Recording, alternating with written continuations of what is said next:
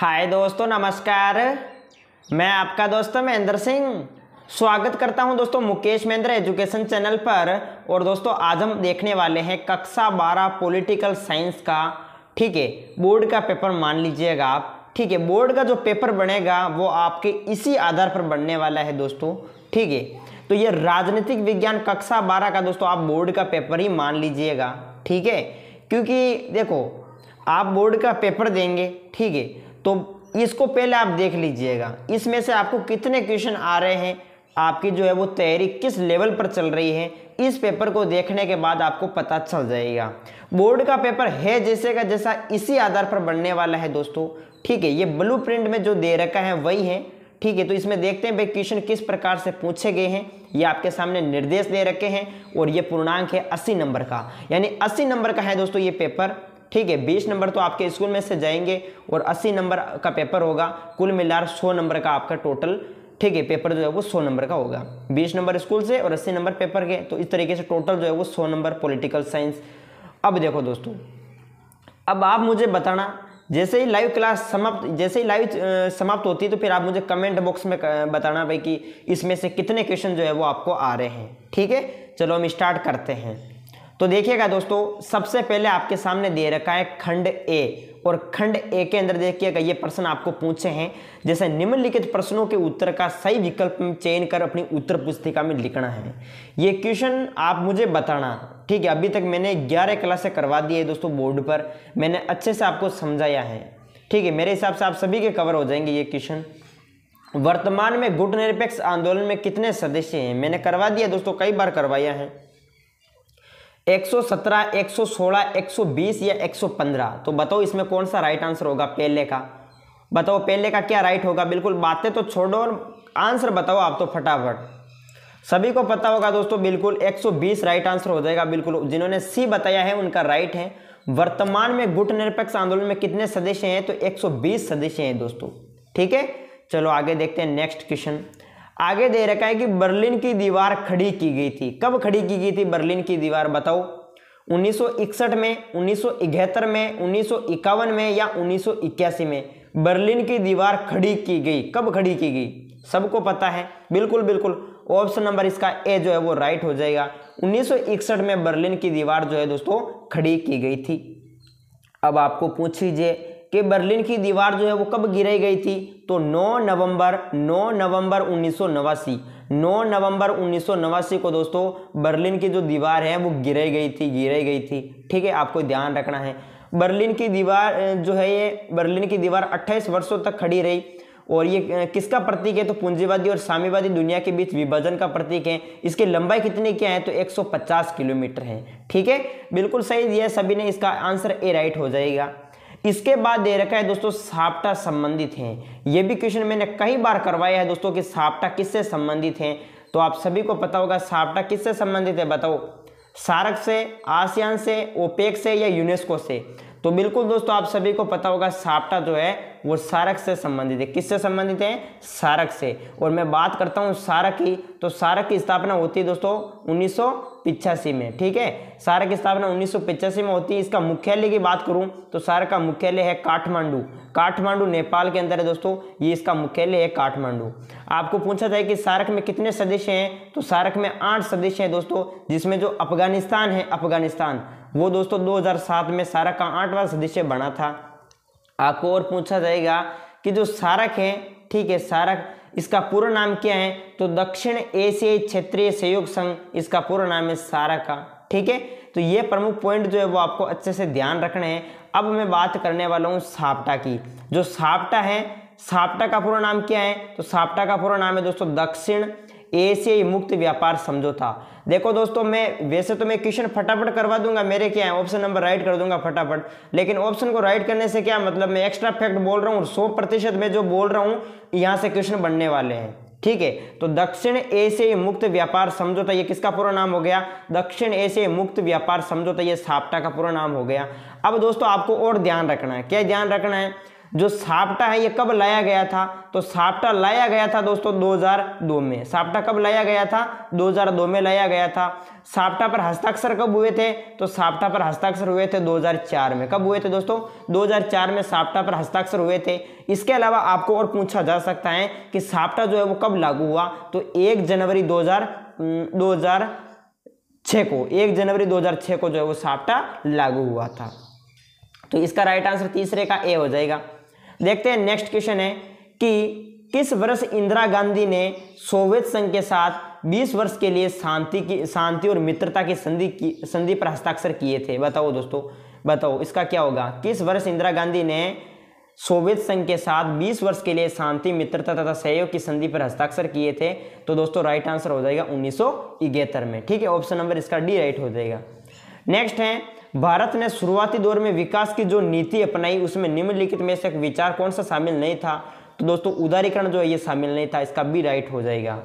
आगे देखते हैं, ऑपरेशन ब्लू स्टार का संबंध किस राज्य से है? तो ऑपरेशन ब्लू स्टार का संबंध किस राज्य से है? बताओ दोस्तों, आप सभी को पता होगा, ऑपरेशन ब्लू स्टार। बताओ, ऑपरेशन ब्लू स्टार का संबंध किस राज्य से है? ऑपरेशन ब्लू स्टार का संबंध किस राज्य से है? तो दोस्तों, ऑपरेशन ब्लू स्टार का संबंध पंजाब राज्य से है, ठीक है? इसके बाद आगे हैं कि भारत में दूसरे पिछड़े वर्ग आयोग के अध्यक्ष कौन थे? तो भारत में दूसरे पिछड़े आयोग वर्ग के जो अध्यक्ष थे, वे थे दोस्तों, यहाँ पर आपको करना है बीपी मंडल ये थे भारत में दूसरे पिछड़े वर्ग आयोग के अध्यक्ष। इसके बाद देखते हैं प्रमुख नेक्स्ट क्वेश्चन कि शीत युद्ध के समय अमेरिका और सोवियत संघ, सोवियत खेमे का विभाजन सबसे पहले कहाँ हुआ था? बताओ दोस्तों। शीत युद्ध के समय अमेरिका और सोवियत खेमे का विभाजन जो है वो सबसे पहले कहाँ हुआ था? एशिया में, यूरोप में, अफ्रीका में या लातिनी अमेरिका में? देखो दोस्तों, सभी मुझे इसका आंसर कमेंट बॉक्स में करेंगे, ठीक है? इसका आंसर मुझे सभी कमेंट बॉक्स में करेंगे। अपना नाम ज़रूर बताइए कमेंट में और सभी इसका आंसर मुझे कमेंट में करेंगे। लाइव चैट में नहीं करना है, कमेंट में करना है दोस्तों कि शीत युद्ध के समय अमेरिका और सोवियत खेमे का विभाजन जो है वो सबसे पहले कहाँ हुआ था? एशिया में हुआ था या यूरोप में हुआ था या अफ्रीका में हुआ था या लातिन अमेरिका में हुआ था? इसका आंसर मुझे कमेंट में बताएँगे। अगर नहीं आता तो मैं दोस्तों बता दूँगा कमेंट में, ठीक है? इसके बाद देखते हैं नेक्स्ट अगला क्वेश्चन आगे देखते हैं अगला क्वेश्चन है आपके सामने कि रूस में समाजवादी क्रांति जो है वो किस वर्ष में हुई थी? रूस में समाजवादी क्रांति। 1915, 1916, 1917 या 1918 तो बता बिल्कुल सभी को पता होगा दोस्तों 1917 इसका राइट आंसर हो जाएगा। देखो दोस्तों रूसी क्रांति जिन्हें आप रूसी क्रांति कहवा जिन्हें आप बोलसवी क्रांति कहवा यह क्रांति 1917 में होती है ठीक है? ई के बाद में आगे देखो अगलो क्वेश्चन कि प्रथम पंचवर्षीय योजना का प्रारूप जो है वो किस वर्ष जारी हुआ था? प्रथम पंचवर्षीय योजना के प्रारूप की बात है कि वे किस वर्ष जारी हुआ? उन्नीस सौ अड़तालीस, उनपचास, पचास, इक्यावन। तो प्रथम पंचवर्षीय योजना का प्रारूप किस वर्ष जारी हुआ था? तो उन्नीस सौ इक्यावन, यानी ऑप्शन नंबर इसका डी जो है वो राइट हो जाएगा। इसके बाद देखते हैं स्वेज नेर के मुद्दे पर उन्नीस सौ छप्पन में ब्रिटेन ने किस देश पर हमला किया था? ईरान, मिस्र, इराक या तुर्की? तो बिल्कुल आप सभी को पता होगा दोस्तों, मिस्र पर हमला किया था ब्रिटेन ने, ठीक है? उन्नीस सौ छप्पन में स्वेजनेर के मुद्दे पर। आपको पूछा जाए कि स्वेजनेर का राष्ट्रीयकरण किसने किया था? स्वेजनेर का राष्ट्रीयकरण। तो स्वेजनेर का राष्ट्रीयकरण किया था दोस्तों, आपको ध्यान रखना है, Gamal Abdel Nasser. Gamal Abdel Nasser ने दोस्तों, स्वेजनेर का क्या किया था? गमाल अब्दुल नासिर ने स्वेजनेर का राष्ट्रीयकरण किया था। वेरी इंपॉर्टेंट पूछा जा सकता है। इसके बाद देखते हैं कि लोक दल के संस्थापक कौन थे? लोक दल के संस्थापक चौधरी चरण सिंह, जयप्रकाश नारायण, मोरारजी देसाई या अशोक मेहता। तो दोस्तों, आप सभी को पता होगा, लोक दल के संस्थापक हो जाएँगे चौधरी चरण सिंह। यानी ऑप्शन नंबर इसका जो ए है, वो राइट हो जाएगा। इसके बाद देखते हैं, प्रमुख रिक्त स्थान की हमें पूर्ति करनी है दोस्तों। एक एक नंबर वाले क्वेश्चन ये भी आगे भी एक एक नंबर वाले क्वेश्चन ही थे, और ये भी एक एक नंबर वाले क्वेश्चन ही है कि लीग ऑफ़ नेशंस के उत्तराधिकारी के रूप में किसकी स्थापना हुई? तो आपको पता होगा, यूएनओ की स्थापना हुई। किसकी स्थापना हुई थी? यूएनओ की, यानी संयुक्त राष्ट्र संघ की स्थापना हुई थी। इसके बाद देखते हैं अगला क्वेश्चन भारत ने सन खालिस्तान में पहला परमाणु परीक्षण किया था। तो मई उन्नीस में दोस्तों, भारत ने अपना पहला परमाणु परीक्षण किया था। दूसरा उन्नीस में किया था पोखरण जैसलमेर के अंदर। इसके बाद देखते हैं नेक्स्ट क्वेश्चन दोस्तों, कि उन्नीस में खालिस्तान राज्य में भारतीय कम्युनिस्ट पार्टी की अगुवाई में एक गठबंधन सरकार बनी थी। इसको पीडीएफ को इधर लेके आ जाते हैं मेरे प्रोफ़ाइल को। चलो, अब देखते हैं। उन्नीस सौ सत्तावन में खालिस्तान राज्य में भारतीय कम्युनिस्ट पार्टी की अगुवाई में एक गठबंधन सरकार बनी। किस प्रकार की सरकार बनी? गठबंधन सरकार। तो बताओ, उन्नीस सौ सत्तावन में खालिस्तान राज्य में, यानी कौन सा राज्य था? केरल राज्य था। कौन सा राज्य था दोस्तों? केरल राज्य। तो केरल राज्य में भारतीय कम्युनिस्ट पार्टी की अगुवाई अगुवाई में कैसी सरकार बनी थी? गठबंधन सरकार बनी थी। तो खालिस्तान में आप कर देंगे केरल राज्य, ठीक है? आगे दे रखा है कि नार्वे के खालिस्तान संयुक्त राष्ट्र संघ के पहले महासचिव बने थे। तो नार्वे के कौन बने थे दोस्तों? आपको पता होगा ट्राइगावल्ली। कौन बने थे दोस्तों? ट्राइगावल्ली। ट्राइगावल्ली जो है, ट्राइगावल्ली। ये नार्वे के संयुक्त राष्ट्र संघ के पहले महासचिव बने थे। इसके अलावा आपको पूछा जाए कि संयुक्त राष्ट्र संघ के वर्तमान महासचिव कौन है तो संयुक्त राष्ट्र संघ के वर्तमान महासचिव की बात करें तो एंटोनिया गुटेरस। कौन है दोस्तों? एंटोनिया गुटेरस ये जो है, ये वर्तमान महासचिव हैं। ठीक है? इसके बाद में आगे बात करता हूँ। आगे दे रखा है। देखो दोस्तों, बोर्ड का पेपर जो है, वो इसी आधार पर बनने वाला है। इसी तरीके से बनेगा आपका बोर्ड का पेपर। तो बिल्कुल आप इसे अच्छे से देखिएगा। खालिस्तान मुकदमे में सर्वोच्च न्यायालय ने फैसला सुनाया था कि संविधान एक बुनियादी ढांचा है। तो आप इसमें क्या कर देंगे? केशवानंद भारती केशवानंद भारती। यानी केशवानंद भारती मुकदमे में सर्वोच्च न्यायालय ने फैसला सुनाया था कि संविधान एक क्या है? बुनियादी ढांचा है। ठीक है? इसके बाद देखते हैं अगला क्वेश्चन। वर्ष खालिस्तान में बाम सेब का गठन हुआ था। बाम सेब का गठन कब हुआ था? 1978 में बाम सेब का गठन होता है। बाम सेब का पूरा नाम पूछे तो backward and minority communities employees federation, ये बाम सेब का क्या है? पूरा नाम है। वेरी इंपॉर्टेंट है, पूछा जाए तो बिल्कुल आपको अच्छे से लिखना है। इसके बाद देखते हैं नेक्स्ट क्वेश्चन, शोक थेरेपी का शाब्दिक अर्थ क्या है? जो शोक थेरेपी है, इसका शाब्दिक अर्थ जो है हमें बताना है। कई बार मैंने बोर्ड पर करवाया है ठीक है, ये आपको बोर्ड नज़र आ रहा है, इस बोर्ड पर मैंने कई बार करवाया भी है, ठीक है? और शोक थेरेपी का मतलब आघात पहुंचाकर उपचार करना, चोट पहुंचाकर उपचार करना, ठीक है? जब सोवे संघ का पतन हो जाता है तो साम्यवाद से पूंजीवाद की तरफ़ संक्रमण, ये क्या कहलाया? शोक थेरेपी कहलाया। शोक थेरेपी की परिभाषा बिल्कुल आपको याद करनी थी ये। किन देशों को दूसरी दुनिया के दुनिया के देश कहा जाता है?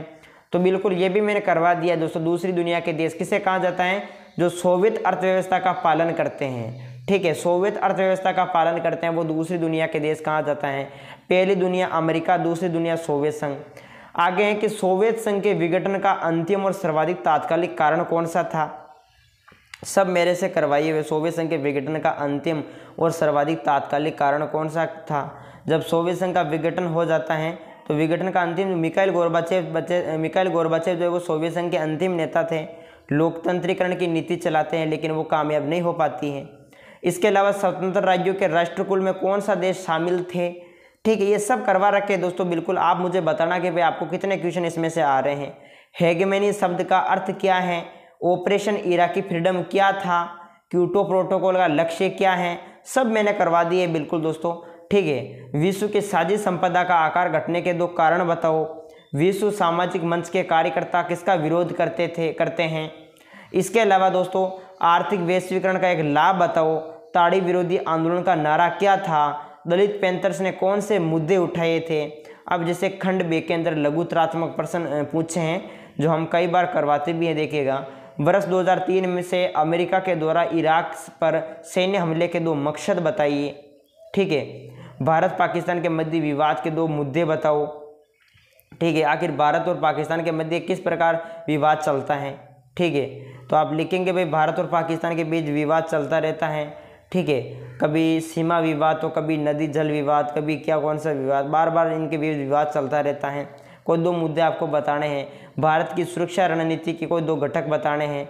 मूलवासी से आप क्या समझते हैं? जो जो किसी मौजूदा समय से एक ही स्थान पर रहते चले आ रहे वो मूलवासी लोग। इसके अलावा मूलवासी से आप क्या समझते हैं? ये भी क्वेश्चन देखिएगा आप।